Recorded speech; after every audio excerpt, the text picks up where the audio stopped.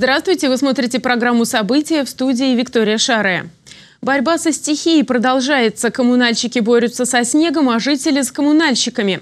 Снег замел и подъездные пути к нашей телекомпании. Гости с трудом пробираются на эфиры.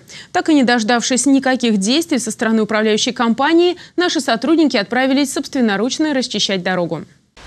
Вместо микрофона и камеры лопаты и валенки. Сотрудники телеканала «Самара ГИС» сменили главное орудие журналиста на рабочие инструменты дворника. Частные коммунальщики почистили снег вокруг дома, где находится наша редакция. Вот только про эту дорогу, кажется, забыли. От такой нерасторопности страдают не только автомобилисты, но и обычные пешеходы. Я не видела, честно так сказать, я не видела. Вот они даже вот, вот это вот переход, вот эту вот э, проезжую часть туда, к а, как она называется, шиномонтажа, да, они даже ни разу не прошли по ней. Все так и машина буграми ходит. И вот здесь вот переход от этого асфальта туда к э, дороге, тоже вот такой промежуток оставили грязный весь. И ходим, ноги там трем. Ну как, ну вот раз проехали, видели, за всю зиму. Ты скажи вот про это. Это вообще ничего не чистили, не подъехать, ничего. Про аллею вообще ничего там нет. Ну, негде гулять. Вот гуляю здесь только на дорожке и все. Уж, в ужасном положении, солнышко мое, в ужасном положении. Не убирает, что ли, вот так вот. Сейчас я стала выходить, облили меня, понимаешь ли. Представители управляющей компании по достоинству оценили наш энтузиазм, но на помощь не спешат. Говорят, это не их зона ответственности. Участок благоустройства работает ежедневно, ежедневно, фактически круглосуточно, без выходных. Э, когда стихийное бедствие происходит, естественно, немножко не успеваю. Подождите, дорога, дорога, это уже не наша. Вы сначала вот посмотрите э, схему закрепленной территории. Как нам пояснили в районной администрации, эта территория все-таки закреплена за управляющей компанией «Коммунальник», как бы они от нее не отрекались. А пока в нашем дворе машина – это скорее роскошь, а не средство передвижения. Ничего, ничего. У нас зимой дороги такие, и погода такая, что уже ездовые академики встречаются. Валерия Квасневская, Станислав Левин. События. Между тем, как сообщает городской департамент благоустройства и экологии, на уборку города каждые сутки выходит до 400 единиц спецтехники. К настоящему моменту уже вывезли более 250 тысяч тонн снега. Не намного меньше, чем за всю прошлую зиму. На борьбу с последствиями стихии, а заодно и с недобросовестными управляющими компаниями, ежедневно выходят представители администрации. Пока стопроцентный результат достигнут только на тротуарах то общая площадь тротуаров, которые содержат МП благоустройства, миллион шестьсот тысяч квадратных метров. Все они с определенной кратностью, это 18 раз в месяц, расчищаются на ширину щетки МТЗ. То есть все тротуары на сегодняшний день расчищены 100%. Вопрос о снежном накате, который остается на асфальтовом покрытии, э, это допустимо. В Самаре за 20 дней января выпало более сотни месячной нормы осадков. Ежедневно, по данным городского департамента благоустройства и экологии, вывозят в среднем 10 тысяч тонн снега. С планами и объемами снегоуборочных работ можно ознакомиться в блоге МП «Благоустройство». О нечищенных дворах и несбитых с крыш сосульках самарцы могут сообщать по телефонам горячей линии. Специалисты городского департамента ЖКХ примут информацию и направят ее частным коммунальщикам. На еженедельном совещании в профильном ведомстве руководство управляющей компаний еще раз напомнили о том, что следует усилить работу по расчистке снега во дворах и с крыш домов. Я хочу обратиться к управляющим компаниям. Здесь также, в принципе, значит, оценка управляющей компании значит, просматривается непосредственно по, а, значит, как устраняется горячая линия. Обратите особое внимание. Пожар на улице юных пионеров полностью уничтожил частную сауну. Она находилась на первом этаже многоэтажного дома. В итоге от сильного задымления пострадали квартиры в двух подъездах. С подробностями с места событий наша съемочная группа. Ну вот посмотрите, то, что под плинтусами дым шел из снизу, вот из-под плинтусов. Все это следы видно, все это горело. Черная копоть на полу, стенах и мебели. Жители 61-го дома по улице Юных Пионеров показывают последствия пожара. Квартира Владимира Пивоварова находится на втором этаже, прямо над помещением, где располагалась частная сауна. Владимир говорит, еще до пожара от нее было немало неприятностей. Они там все пьяные постоянно, ну, естественно, понимаете, там разврат полный, Вот, бассейн, орут. А это все подо мной, вот под моими комнатами, да. Музыка, ну, до двух, до трех ночи. Им звонишь – бесполезно. Из-за пожара в доме было нарушено теплоснабжение, выбиты стекла, временно прекращена подача холодной и горячей воды. Тепло и вода вернулись в квартиры в течение суток. Также муниципальное предприятие по эксплуатации и обслуживанию общежития оперативно установило новые окна. Но оценить, какой урон нанесен коммуникациям дома в полном объеме, специалисты обслуживающего предприятия не могут. У нас в саму сауну как не допускали, так и не допускают. Там проходит у нас система отопления общего, общее здание, там проходит у нас водопровод на здание, там у нас проходит система общий ввод горячего водоснабжения на здание. То есть фактически большая часть инженерных сетей проходит именно по территории сауны. Там находится бассейн, не предусмотренный никакими проектами. Это дополнительная нагрузка на фундаменты здания.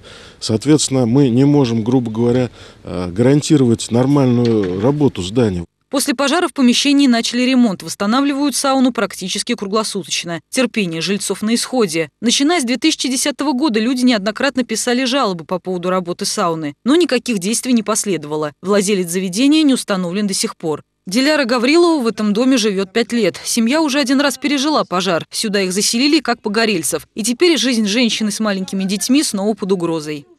У меня уже больше нет сил. Мы жаловались на эту сауну, что уберите ее, что это не положено, не дай бог будет возгорание. Вот дождались. Я надеялась, что теперь уж нам точно ее закроют. Так нет, они еще нам ухмыляются, говорят, что через неделю сауна опять восстановится. Опускать руки жители дома не намерены. Люди считают, частной сауне не место в жилом доме. Жители в очередной раз пишут жалобы в полицию, районную администрацию и прокуратуру. В этот раз решили пойти дальше и обратиться в приемную президента. Лариса Шалафаст, Алексей Золотенков, Дмитрий Мешканцов. События. Выплаты погорельцам должны предоставляться в течение суток. Такое поручение профильным ведомствам дал глава администрации Самара Олег Фурсов. Материальную помощь сразу после трагедии уже получили жители частного дома на улице Кольцевая, 82. Пожар там произошел 17 января. В доме проживали 4 человека, одна женщина погибла. Буквально на следующий день компенсацию получили погорельцы сводников 7. Там тоже при пожаре погиб один человек. На еженедельном совещании в мэрии глава администрации Самара Олег Фурсов отметил работу специалистов, которые оперативно оказали помощь погорельцам. Кроме того, подчеркнул Олег Фурсов, у социальных служб должен быть запас одежды, которую можно было бы предоставлять пострадавшим от пожаров в случае необходимости. Максимально упрощайте процедуру выделения или сокращайте время оформления документов. Вот как по Самарскому району сработали, так и во всех остальных районах эта работа должна быть организована. Подключайте при необходимости и Департамент финансов, и Сергей Иванович Черепанов, если нужен маневренный фонд. Значит, это обязательно нужно делать очень быстро. Решить спорный вопрос теперь можно, не доводя дело до суда. В Самаре начал работу кабинет досудебного урегулирования конфликтов. Сюда могут обращаться люди для мирного решения вопросов о расторжении брака, разделе имущества, о том, с кем останется ребенок после развода. В кабинете ежедневно дежурит квалифицированный специалист. Консультацию самарцы могут получить бесплатно. Во-первых, это экономия времени. Как правило, любой спор, а если стороны настроены его решить, решается э, ну, в 2-3 сессии. А, любой судебный процесс занимает порядка двух месяцев и больше. В дальнейшем, по мере увеличения числа медиаторов, поскольку сейчас число медиаторов еще достаточно невелико, это будет открываться на базе всех судов, если, естественно, покажет свою положительную статистику, скажем так. Вот. И арбитражных судов. Кабинет досудебного урегулирования споров работает в суде Октябрьского района по будням с 9 утра до 6 часов вечера. Все тонкости профессии юриста на практике. В рамках акции «Студенческий патруль» у студентов самарских вузов появилась уникальная возможность узнать о будущей профессии из первых рук. В этот раз они посетили зональный центр кинологической службы областного управления МВД и познакомились с жизнью четвероногих полицейских и методах работы с ними. Репортаж Павла Баймакова. Звериный оскал и грозный лай иногда может привести в чувство и одновременно парализовать даже самого отъявленного злодея. Четвероногие полицейские подчиняются лишь командам кинолога, который проводит с ними почти 24 часа в сутки. Надежда Ефимова и ее напарник-лабрадор Янки вместе несут службу более двух лет. За это время девушка убедилась, собачий нос в их работе – лучший помощник. Ни один ни детектор, ни, ни один металлоискатель не может заменить собаку. Тем более собака практически не ошибается. Собака, она э, объективна. Ей не может нравиться человек или не нравится. Она все равно будет действительно делать то, что, чему ее научили. Для нас собака – это незаменимый помощник. Опять же, можно об этом долго размышлять. Мы для собаки и авторитет, и кормилец, и друг. И это действительно тот тандем, когда собака не предаст. Кинологическом центре более сотни служебных собак, немецкие овчарки, лабрадоры и ротвейлеры. Их основные функции – розыск, задержание преступников, их конвоирование, а также поиск оружия, взрывчатки и наркотиков.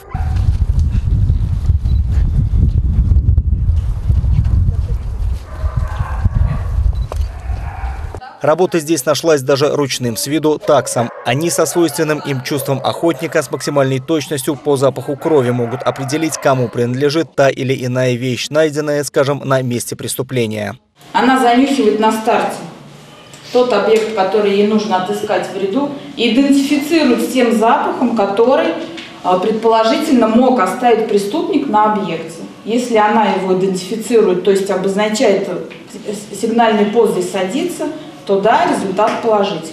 Чтобы дать стопроцентный результат, что да, этот человек причастен а, к данному виду преступления, а, берется три собаки. Ходе экскурсии студентам также рассказали, как у четвероногих проходят тренировки и о том, как поддерживают их здоровье. На территории центра работает ветеринарная лечебница, так как работа у четвероногих полицейских действительно собачья. По словам будущих юристов, полученные знания им пригодятся в дальнейшем. На учебе у нас теория в основном, практики, ну практика есть, конечно, но в таких объемах нет. Экскурсия очень интересная, конечно, как работают, как воспитывают, как лечат, как дрессируют. Э, более подробно узнал о самих кинологах. Акция «Студенческий десант» продлится 4 дня. За это время студенты самарских вузов смогут подробнее ознакомиться также с работой патрульно-постовой и дорожно-патрульной службы. Павел Баймаков, Алексей Золотенков. События. К другим темам. Самые умные роботы со всей области собрались в Самаре на фестивале по робототехнике. Областной фестиваль проходит в четвертый раз. Число участников за это время увеличилось в разы, а предоставленные проекты становятся год от года все масштабнее и уникальнее.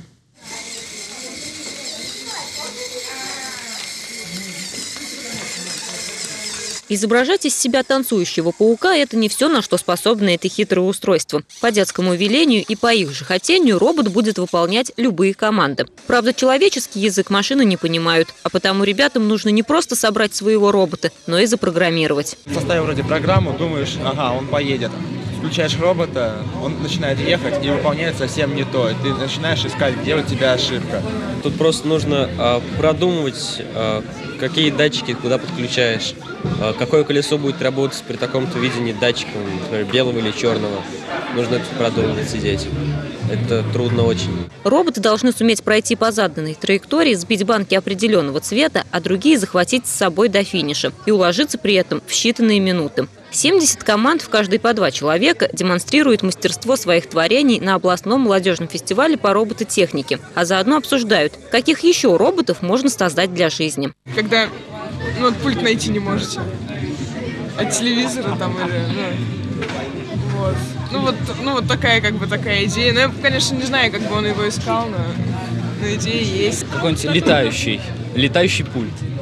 Чтобы ты так пальцами щелкнул, и он к тебе летит. Воплотить в жизнь даже самые невероятные идеи для этих ребят реально, говорят педагоги. Занятие робототехникой – это как вклад в будущее. Дети знакомятся с основами механики, программирования, управления, с достижениями сферы инноваций и высоких технологий. Это очень актуально. То есть здесь, видите, такая мультидисциплинная такая вот область э, технического творчества. Вот. И, конечно, потом с удовольствием их будет рад видеть любой технический вуз в своих рядах. А в дальнейшем это вот неплохая карьера, инженерная. Победители Самарского областного фестиваля поедут в Москву помериться силами со своими сверстниками на российском фестивале «Робофест». Марина Матвеевна, Станислав Левин. События.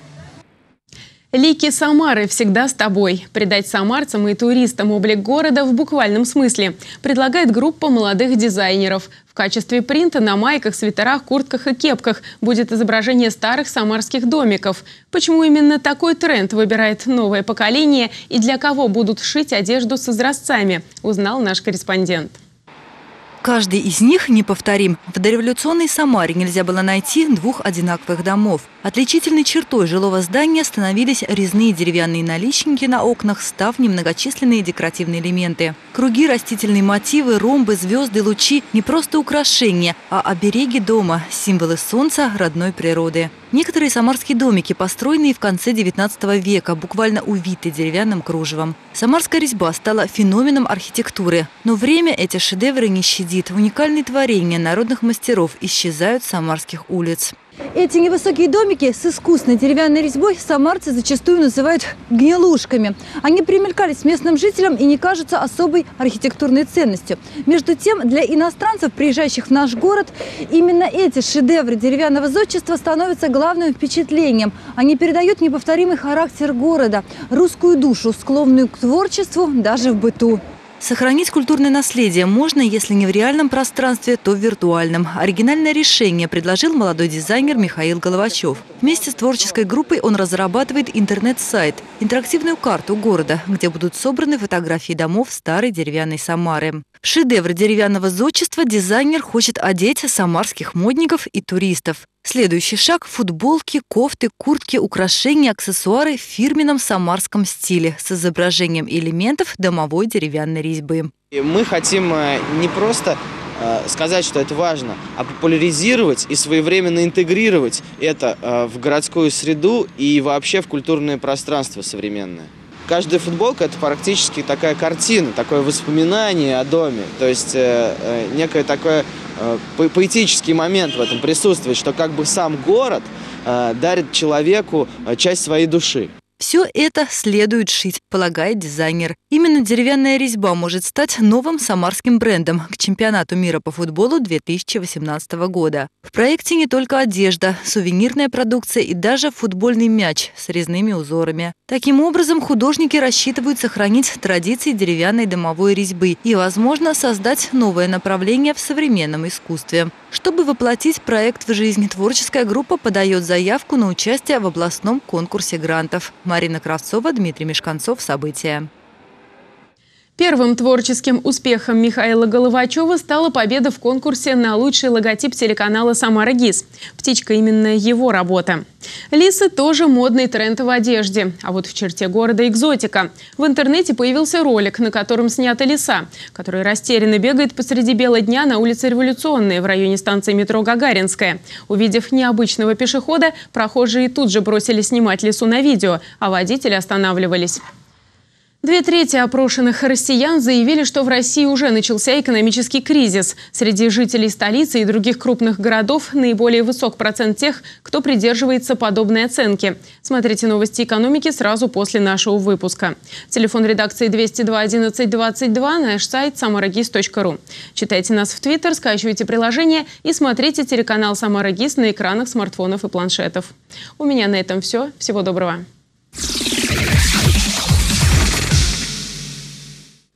Здравствуйте. Финансовые новости на телеканале «Самара ГИС». Правительство признает ряд объективных предпосылок для роста цен на товары. К таким предпосылкам можно отнести, в частности, существенную зависимость от импорта. Тем не менее, Минпромторг, Минсельхоз, правительство и антимонопольная служба реагируют и немедленно разбираются с каждым конкретным случаем повышения цен на продовольствие в каждом конкретном регионе – к сожалению, тенденция роста цен на муку и хлеб в ближайшее время сохранится.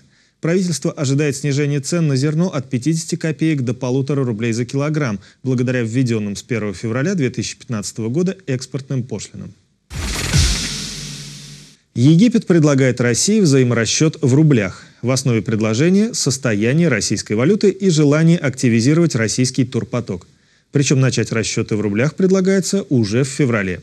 Стороны прорабатывают механизм двусторонних соглашений, который позволит отказаться от американского доллара, который до сегодня оставался основной денежной единицей российского египетского туризма.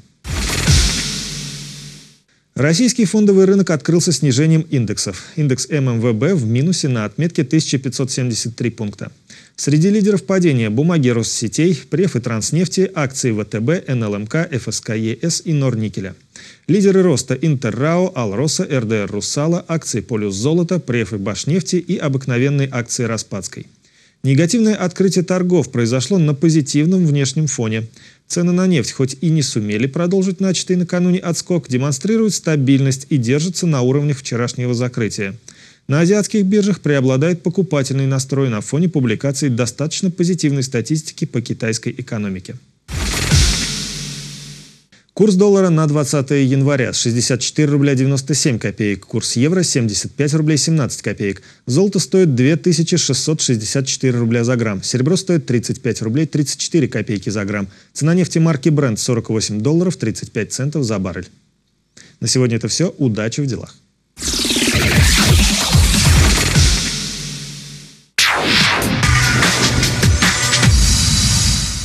Здравствуйте! В эфире новости спорта и я, Андрей Трой. Баскетболисты Самара СГУ потерпели поражение от Новосибирска. Павлюченкова закончила участие в турнире Australian Open. В расположении крыльев Советов прибыл новый нападающий.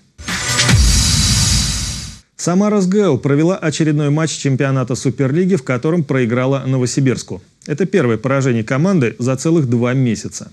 Начав вторую четверть с семиочковым преимуществом, удержать его самарская команда не сумела – Новосибирцы, в составе которых выделились Павел Александров и Александр Анисимов, быстро сравняли счет. За минуту до большого перерыва судьи усмотрели умышленную отмашку со стороны нашего игрока и отправили его в раздевалку. После большого перерыва Новосибирск начал постепенно уходить в отрыв. Итоговый счет встречи 80-90 в пользу Новосибирска. Анастасия Павлюченкова завершила свое выступление на турнире «Большого шлема» Australian Open – в первом круге соревнований 25-я ракетка мира встречалась с бельгийкой Яниной Викмайер, занимающей в мировом рейтинге 80 место. Анастасия реализовала лишь один брейковый мяч из шести и трижды упустила свою подачу, проиграв в итоге со счетом 6-4, 3-6, 3-6. Обе теннисистки выполнили по 5 эйсов. Павлюченко допустила 9 двойных ошибок, в то время как Викмайер – 6. Матч продолжался 2 часа 2 минуты. После этой победы Викмайер вышла вперед в счете по личным встречам с Анастасией 2-1. В расположение крыльев Советов прибыл 20-летний нападающий Махачкалинского Анжи и молодежной сборной России Сердер Сердеров. Спортсмен приступит к тренировочным занятиям вместе с крыльями, а также, вероятно, примет участие в контрольном матче крыльев со Станой, который состоится в Дубае в среду 21 января. Скорее всего, после этой игры крылья огласят решение относительного контракта с этим футболистом. Напомним, аренда футболиста рассчитана до конца сезона. По условиям соглашения самарцы смогут выкупить форварда за 600 тысяч долларов. Это были все новости спорта на сегодня. Занимайтесь физкультурой и будьте здоровы.